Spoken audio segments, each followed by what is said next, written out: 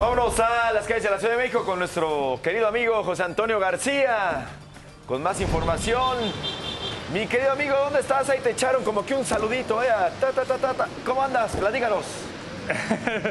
Exactamente, bueno, aquí la gente se acuerda de nosotros. ¿Cómo están, Poncho Pamela? Bien, bien, bien. Muy buen día, buen inicio de semana. Estamos aquí en el viaducto Ajá. Miguel Alemán, exactamente en el bajo puente de la zona de la calzada de Tlalpan, porque, bueno, pues atendiendo este llamado que nos hace amablemente nuestro auditorio, nos reportaron esta fuga de agua. Mm. Y bueno, pues eh, al parecer no es agua potable, al parecer está emanando del entubado Ah. aquí de la zona del viaducto, del drenaje, pero bueno, pues esto se puede tornar un tanto peligroso debido, bueno, pues a la hora que es y el número de vehículos que se están desplazando.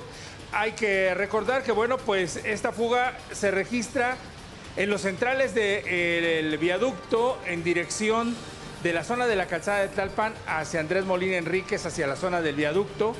Y bueno, pues hay que tener cuidado, principalmente, bueno, pues al enfrenar los vehículos, se pueden derrapar y pues un llamado al sistema de aguas para ver si pueden atender esta emergencia. Te repito, puede ser que no sea agua potable porque está saliendo aquí de la zona de la pared del entubado de la zona del viaducto. Pues Poncho. ojalá. Ojo- ojalá y no sea agua potable. ¿No huele gacho? No, fíjate Ah, que no, no huele bueno. tan mal. Bueno, bueno. Entonces entonces- por eso pensamos que, que no puede ser, este, puede ser que sea agua potable, pero parece que no. Ok. Mi querido Pepe Toño, muchas gracias. Te mandamos un fuerte abrazo, como siempre, con todo el cariño de DPC. Gracias. Igual, igual y este buen inicio de semana. Iniciamos con un 3-1 de los Pumas. Exactamente, le pegamos a las águilas. Digo, es amistoso, pero Ya, ya, ya. yo te, ya te estoy vamos a mandar el con la cochinito, ¿eh? ilusión a tope. Gracias.